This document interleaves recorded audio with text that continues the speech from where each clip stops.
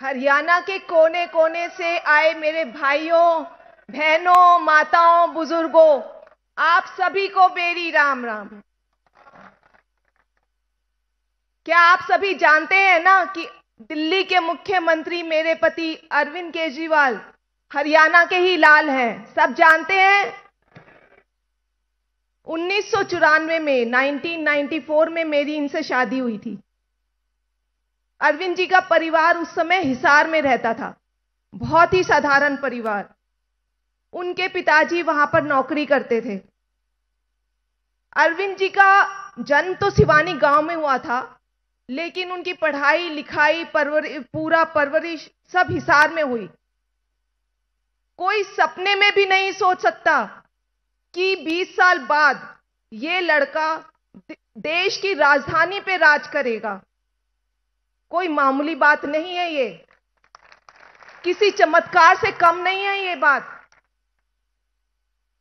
अरविंद जी का जन्म 16 अगस्त 1968 को हुआ था 1968 और ये जानकर आपको आश्चर्य होगा कि उस दिन कृष्ण जन्माष्टमी थी, यानी भगवान कृष्ण का जन्मदिन। ये कोई मामूली इतफाक नहीं है। मुझे लगता है मैं कई बार सोचती हूँ कि ज़रूर भगवान उनसे कुछ करवाना चाह रहे हैं। नहीं तो गाँव में जन्मा एक साधारण परिवार का लड़का और दिल्ली जाके वहाँ का सीएम बन जाए। अरविंद जी ने ज़ीरो से शुरू किया है।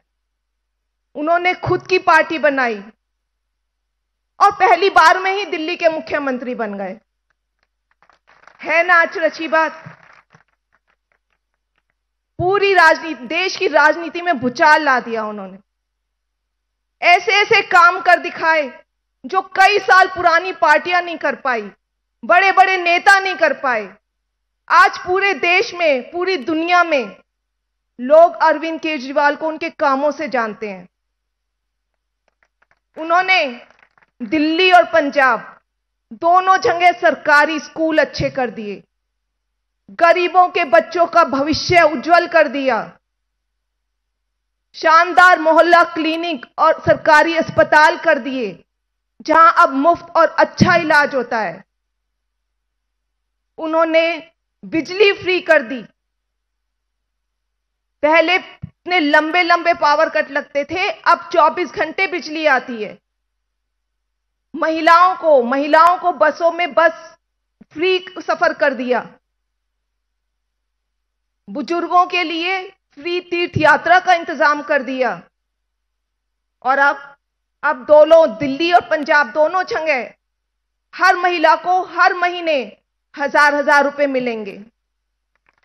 ढेर सारे काम किए हैं आपके केजरीवाल ने, हरियाणा के लाल ने। मैं आपसे एक बात पूछती हूँ। क्या कोई ऐसी पार्टी है जिसने सरकारी स्कूल अच्छे किए हों? क्या कोई ऐसी पार्टी है जिसने मोहल्ला क्लिनिक बनाए हो, अस्पताल अच्छे किए हो? क्या कोई ऐसी पार्टी है जिसने बिजली फ्री करी हो? ऐसे सब काम सिर्फ़ एक ही शख्स कर सकता है। आपका लाल केजरीवाल, हरियाणा का लाल केजरीवाल।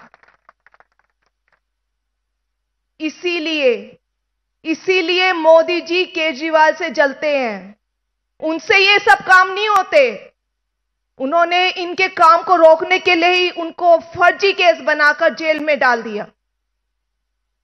उनको उनको, वो कहते हैं, मोदी जी कहते हैं कि केजरीवाल चोर है। मैं कहती हूँ कि मोदी जी, अगर केजरीवाल चोर है ना तो इस दुनिया में कोई ईमानदार नहीं है।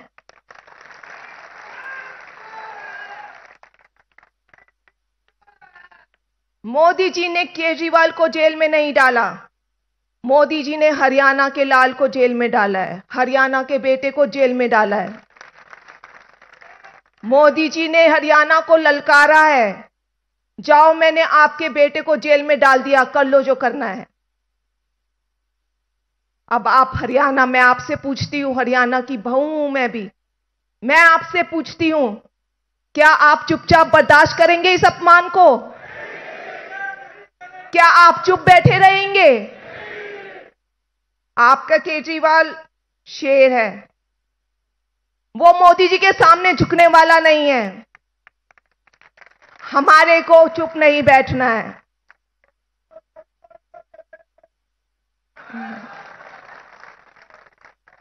मोदी जी गुजरात से हैं। 2014 में जब मोदी जी प्रधानमंत्री बने पूरे गुजरात ने उनका समर्थन दिया, किया। सारी सीटें बीजेपी को दे दी।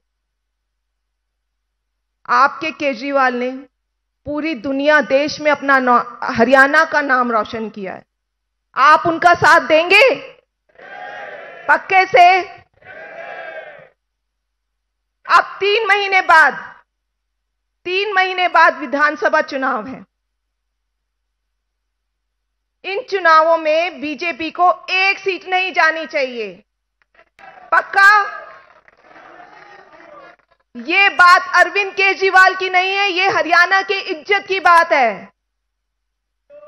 BJP zero. आपके लाल केजरीवाल ने पाँच गारंटी दी हैं आप सबके लिए। जो दिल्ली, पंजाब में हो भी चुकी हैं, कुछ होने वाली हैं। पहली गारंटी है दिल्ली और पंजाब की तरह घरेलू बिजली फ्री होगी। और 24 घंटे बिजली का इंतज़ाम होगा, पावर कट्स नहीं लगेंगे। दूसरी गारंटी, दिल्ली और पंजाब की तरह हर गाँव, हर शहर में मोहल्ला क्लिनिक बनाएँगे। सरकारी अस्पताल अच्छे होंगे।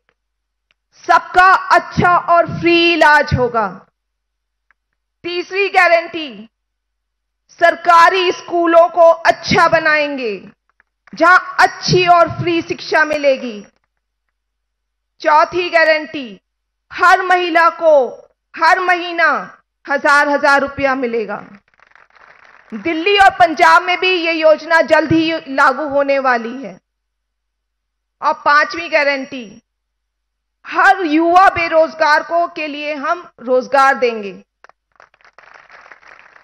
इसके अलावा किसानों, महिलाओं, युवाओं, खिलाड़ियों, व्यापारियों, मजदूरों, बुज़ुर्गों, हर वर्ग के विकास और खुशहाली के लिए बहुत प्लान बनाए हैं आपके केजरीवाल ने। आपके बेटे ने दिल्ली बदल दी, आपके बेटे ने पंजाब बदल दिया। अब आप सबको, उनका अपना घर ठीक करने की आपको ज़िम्मेदारी देनी है। देंगे मंजूर है? सब हाथ उठाइए अच्छी से सब ज़िम्मेदारी देंगे। शाबाश। जय हिंद।